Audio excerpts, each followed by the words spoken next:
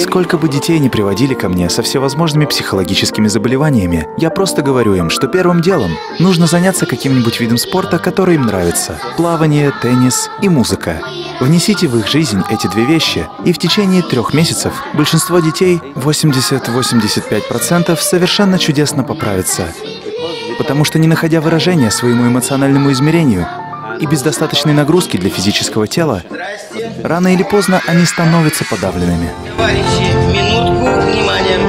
Сегодня завтрак в детском саду отменяется. Мы совершим полет на космической ракете. Это до обеда на Землю не вернется.